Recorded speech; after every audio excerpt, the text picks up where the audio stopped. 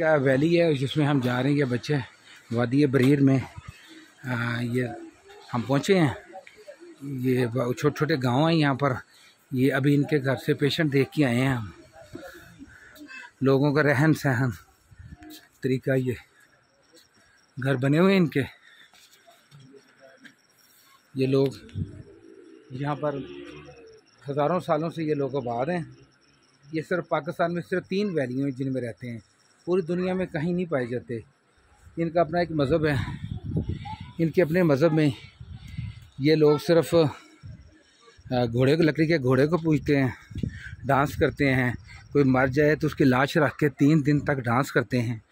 अभी मैंने जो पहली मूवी बनाई थी, उसमें हड्डियाँ पड़ी थी उनकी, उनको दफनाते नहीं हैं।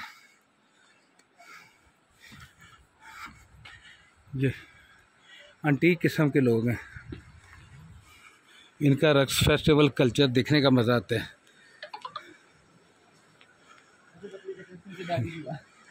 ये पहाड़ी बकरी है।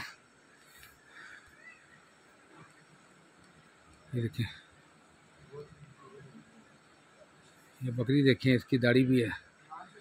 जंगली। ये कलाशियों के घर हैं। ये छोटे छोटे बाड़े बने हुए हैं। ये देखिए। जैसे प्याला नुमा पहाड़ों के अंदर वो देखें वो कलाशी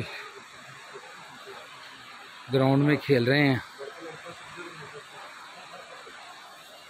अपने कल्चर को चला रहे हैं।